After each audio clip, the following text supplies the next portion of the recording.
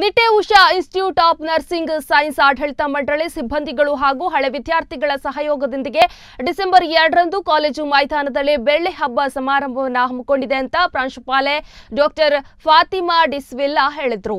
ಮಂಗಳೂರಿನಲ್ಲಿ ಸುದ್ದಿಗೋಷ್ಠಿ ನಡೆಸಿ ಮಾಹಿತಿ ನೀಡಿದ ಅವರು ನಿಟೆ ಯೂನಿವರ್ಸಿಟಿಯ ಕುಲಪತಿ ಎನ್ ವಿನಯ್ ಹೆಗಡೆ ಕಾರ್ಯಕ್ರಮದ ಅಧ್ಯಕ್ಷತೆ ವಹಿಸಲಿಕ್ಕಿದ್ದು, ಯೂನಿವರ್ಸಿಟಿ ಆಫ್ ಮಿಯಾಜಾಯ್ ಜಕಿಯಾ ಡೀನ್ ಡಾಕ್ಟರ್ ಕನೇಕೋ ಮುಖ್ಯ ಅತಿಥಿಯಾಗಿ ಪಾಲ್ಗೊಳ್ಳಲಿಕ್ಕಿದ್ದಾರೆ ಅಂತ ತಿಳಿಸಿದರು.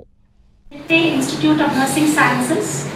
Later in 2002, program is going to be uh, Dr. Masatoki Kaneko, the Faculty of Medicine, University of Miyazaki, and he would be the chief guest for the program.